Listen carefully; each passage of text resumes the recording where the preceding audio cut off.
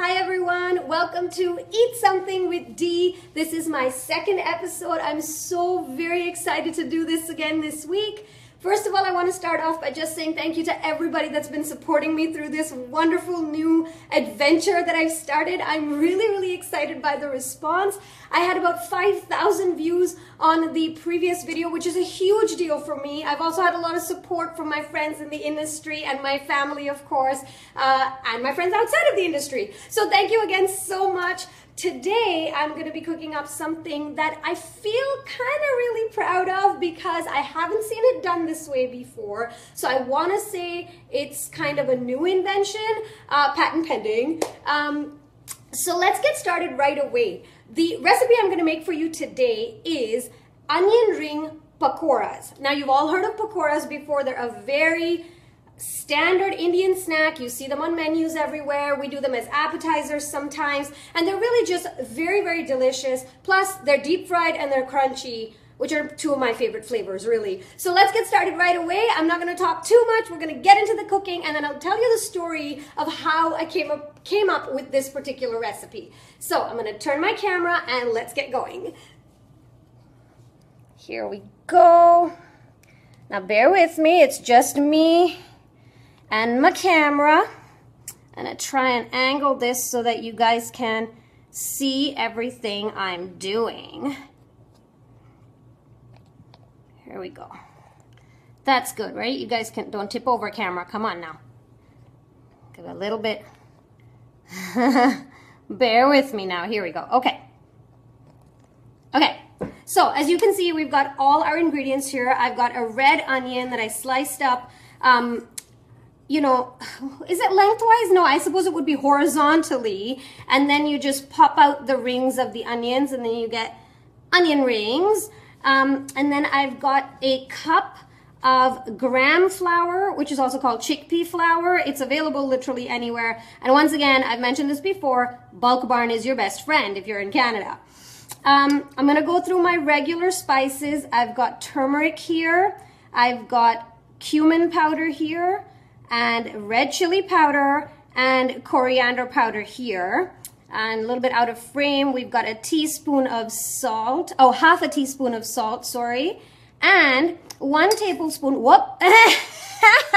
this is live. This is what happens on live casting. But okay, um, I'm to pick up my spills here. Uh, okay. this is um, sort of dried fenugreek. And if you don't know what fenugreek is, it's kind of like this vegetable, a leafy vegetable, kind of like spinach. Um, and when you dry it, uh, you get them in boxes. I didn't dry this myself. Um, uh, it, it has a really lovely aroma and kind of gives a really earthy flavor. Most people um, don't usually put this in their pakora recipe. I do. It's a little addition I like to do because I really like the taste of it. Um, if you find it too strong or too pungent, you can leave it out. Um, but I like to put it in. So since I've already spilled half of it all over, um, I am going to start by moving my onions out of the way, centering this up here. And let's throw that in. Let's throw in my salt.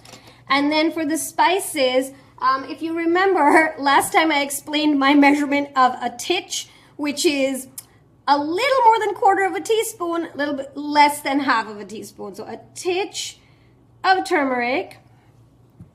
And then I'm going to do one good heaping teaspoon of cumin powder. I'm gonna do, I wanna say about a half teaspoon or so of chili powder, but again, it just depends on how much spice you can really handle. Um, you, I mean, pakoras for the most part aren't the spiciest of Indian food, so I wouldn't load it up. Uh, and then you've got your coriander powder, again, about a good heaping teaspoon of that. Uh, throw that all in. And then I just, I, I like to take a whisk. You can do this with uh, a fork or a spoon or whatever, but I'm fancy. So I like the whisk. And so I kind of just get the dry ingredients together. And then I have about a cup of water here, but we're not going to use all of it. We're just going to um, sort of stir as we go and get to a consistency which is really nice and thick um, because you want to coat your onions in this batter really, really well. And you don't want to sort of let it dissipate when you deep fry it. And you'll see what I mean when we deep fry it. So we basically will use about a, I feel like just a little more than a half a cup. And so I'm gonna put that in there and then just kind of, it looks really lumpy right now because chickpea flour in general is kind of like lumpy and weird. Um, and you know, I'm making a mess because that's what I do. And now of course it's looking super lumpy. So we're gonna put in a little more water and don't be tempted to like just dump all your water in there. I've done that a lot um, and it really kind of messes it up. And then you have to add more flour to even it out. And then you just keep going and you have like, you know, a giant batch of batter when really you're just using one red onion. So excuse the banging on my counter, but you see how nice and thick and crazy this is getting? So you want it to get there. Ah, okay, that's a little bit much. We'll add a little more water. It's still not a whole cup of water, just so you know. It's still less than a cup of water. What is between half and a cup? Like three, fourth, three fourth, three fourth. That's a measurement, right? Yes. So maybe three fourth of a cup of water. We don't be afraid to make a mess. I'm a home chef. Nothing is perfect. I make a giant mess and then I take forever to clean it up and I whinge about it. Um, but you know, one of the casualties of cooking really is making a mess. So if you don't want to make a mess, you might not want to do this. there, that is nice and perfect. I don't know what to call this. Is this dropping consistency? I feel I feel like that's a technical term. But anyway, this is kind of what you want it to look like. Yeah. Mm. Nice stir. All the lumps are gone. All the spices are nicely mixed in there. And then you give that a nice shake. And off it goes. And now you got your onions. And basically all you're going to do is dredge your onions in here and then throw them into boiling hot oil. um, I generally use uh, canola oil or vegetable oil. Sunflower oil is really good as well. Um, but if you're looking again for a low fat recipe, this is not your way to go because ultimately it's deep fried. So here we go. I throw in, let's just start with one to show you how it goes.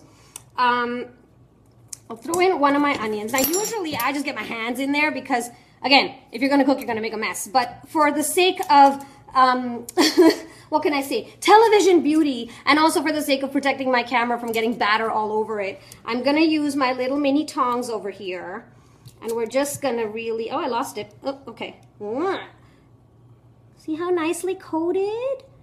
Beautiful. So, once you have that in there, I'm gonna do another so I can throw them all in together. Just gonna coat them all nicely. Get that going. Perfect. And now I'm gonna move you over to my hot oil that I have um, going. And let me show you. Hi, you still with me? Hi. Okay. I'm going to show you my hot oil that I have going. And it's been going for a little bit. It's my little wok karai thing. Um, and now, essentially, if you want to check if your oil is hot enough, I'm just bringing my battered onions over here. If you want to check if your oil is hot enough, you just here's what you do. You take a titch of the batter. Titch, remember what a titch is? Yeah? A titch of the batter.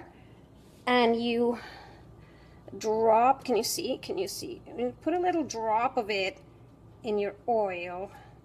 Just like that. And if it bubbles right up and comes up, your oil is hot and good to go.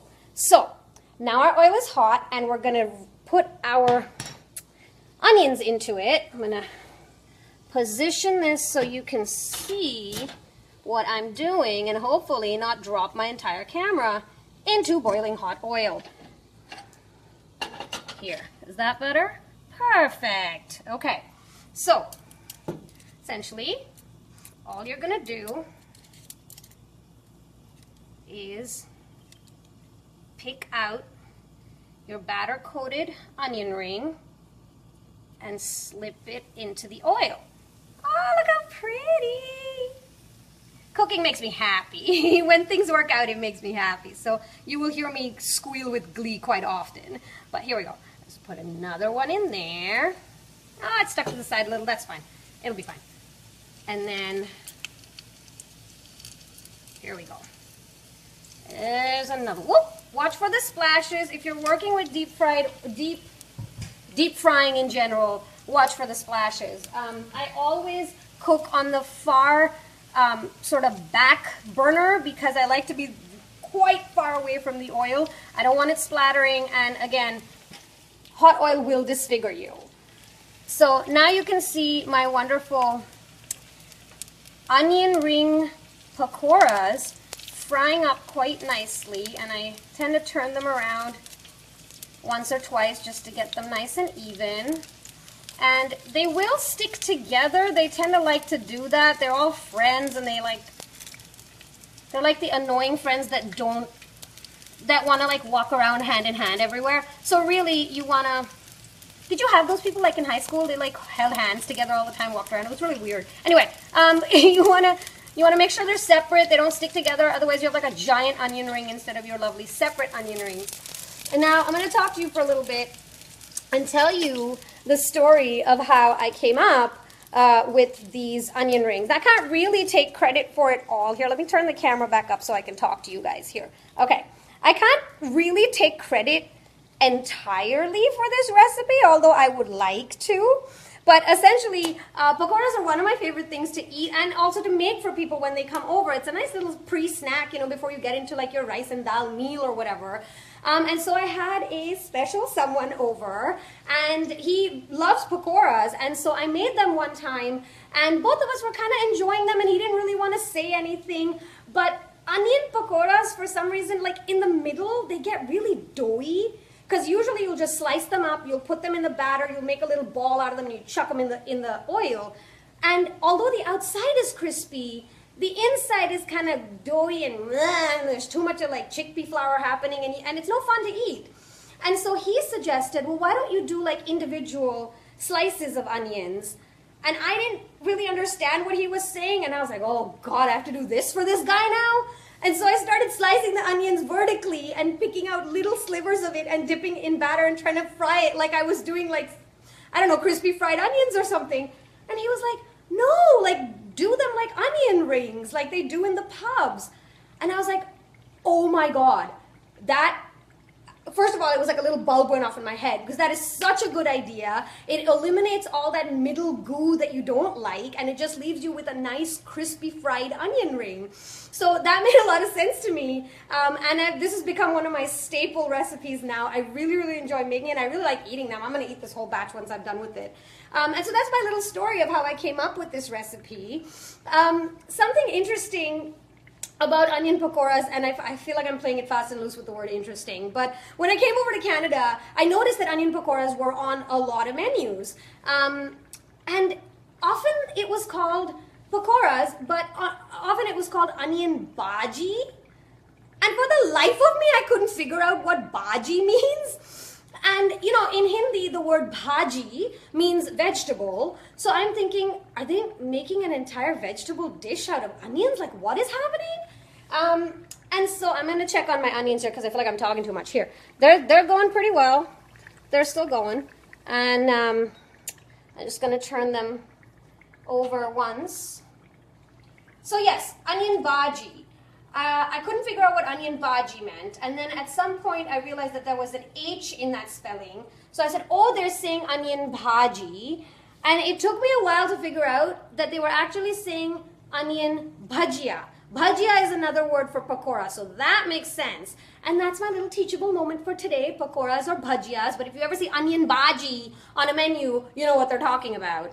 That was a really roundabout story, but anyway, um, that's how it goes. So you can turn the heat up a little bit on these because by now what we're looking at is nice cooked onion rings. Um, we're just waiting to get a little bit of color on them and I really like to get um, color on my on my fried things because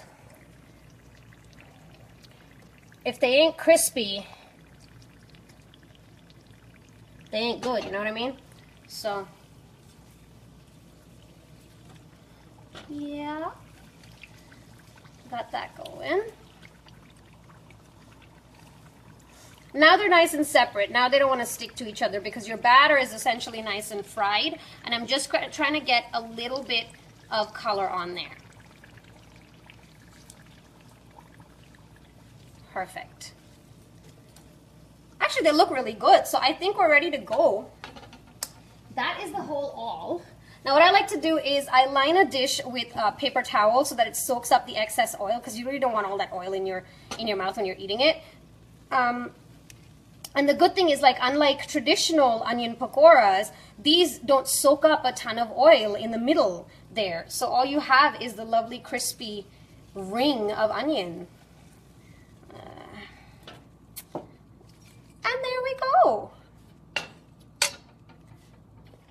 That, my friends, are onion ring pakoras.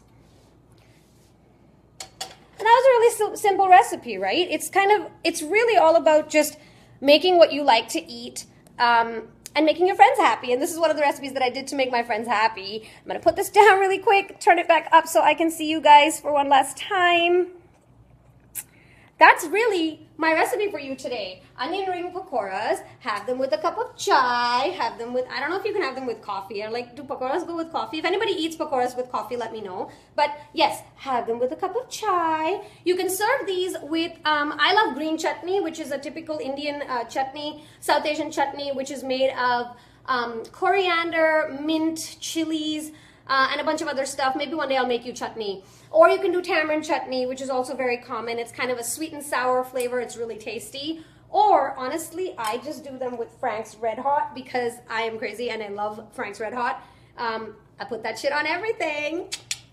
All right, onion ring pakoras, grab a cup of chai, grab your best friend or your special someone and enjoy.